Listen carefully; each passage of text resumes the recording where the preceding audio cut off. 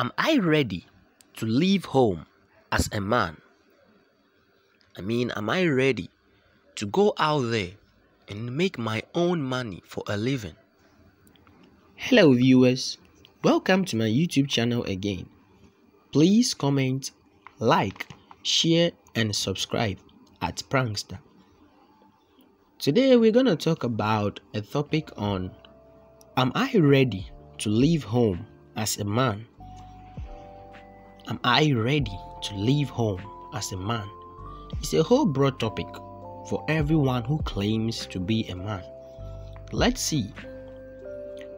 I, I sometimes feel that people are looking down on me because I'm 19 and still living at home. Like I won't be an adult until I live on my own. I'm nearly 20 and I hate it that I have very little say about how my life is run. I've considered leaving home and this is a great task for me.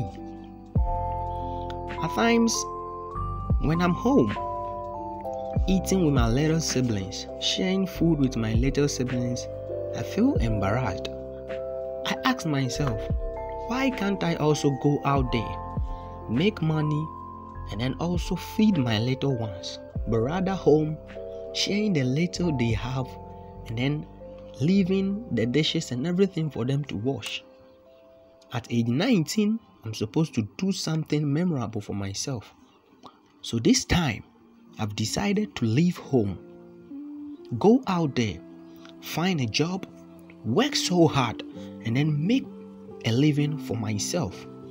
But that, does this mean that if I want to leave home, I'm going to shirk all responsibilities at home?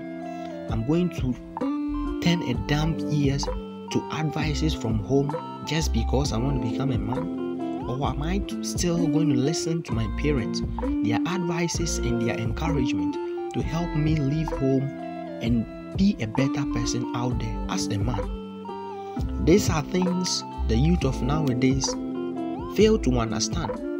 When they turn certain ages, their mindset is no one should control them anymore. But it's not so. You have certain rights when you turn certain ages in Ghana. You can work, but never forget that the people who are called your parents or the elderly ones are still in control of your life.